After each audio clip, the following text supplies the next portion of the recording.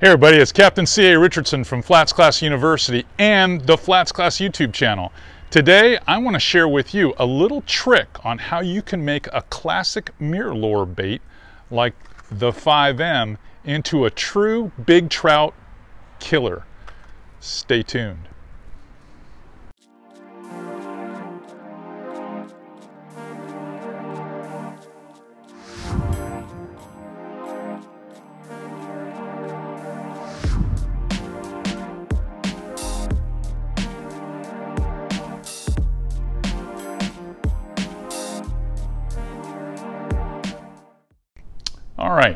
So what are we gonna have to do to this old classic bait to make it a true trout killer, especially for those of you fishing maybe pressured waters? Well, you'll notice there's a prop on the front, there's a prop on the back, and there's three sets of trebles on this. Well, we're gonna have to do a few modifications. And the first thing we're gonna do is go right here to the workbench and show you what I have in mind. All right, step one is I want to remove the front prop. I don't need two props, I only want one. The idea that I'm trying to create is I want to make this bait kind of tail heavy, if you will. So I'm going to take some weight off the front. So let me back this off with my screwdriver.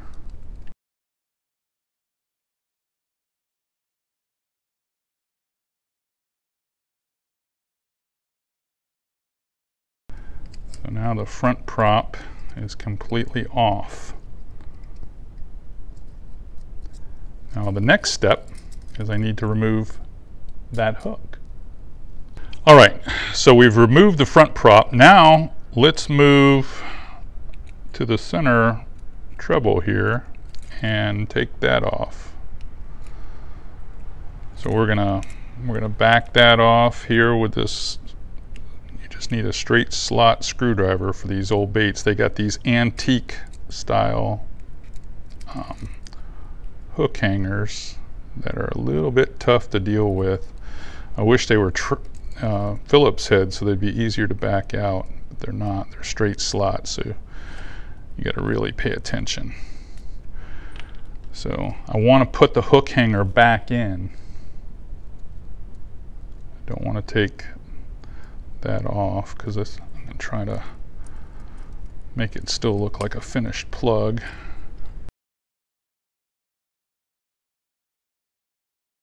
Then you just screw that all the way in.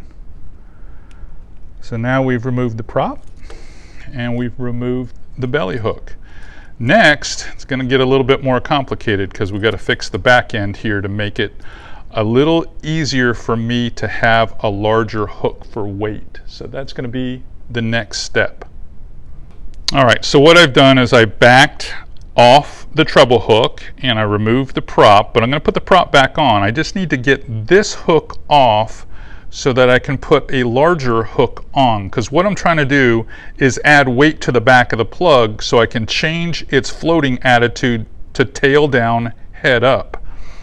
So the way you get rid of that is you don't want to cut the screw attachment, you just want to cut this hook off. So I pulled a big pair of Kleins out of my boat and that way I can get rid of that old hook. And I can screw this back on. Now you might say, well, how are you going to get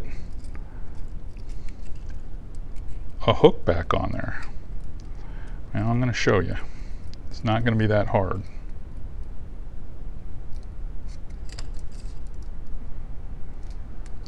Because what I'm going to do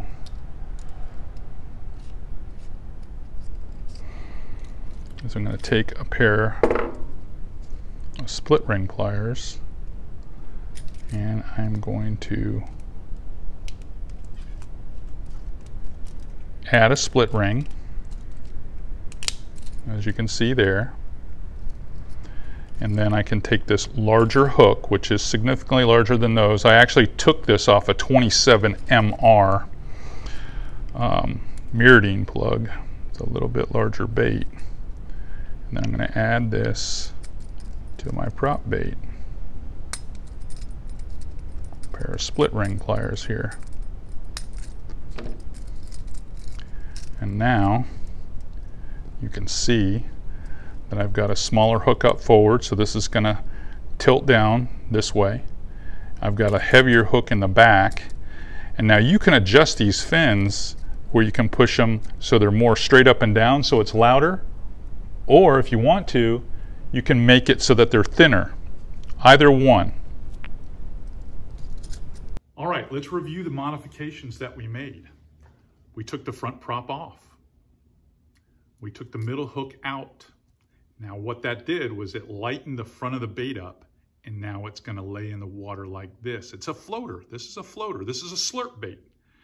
We went one size up on the rear treble and added that heavy duty split ring. That definitely gives it that attitude.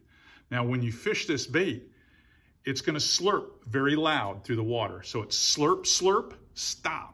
Slurp, slurp, stop. If you're getting into a real shallow zone, you may just wanna reel it slowly and then little subtle slurps and then reel it slowly. But it drives fish crazy, especially trout, but you'll catch snook too. And you'll catch them, I typically throw this in two and a half to five feet of water with a lot of success.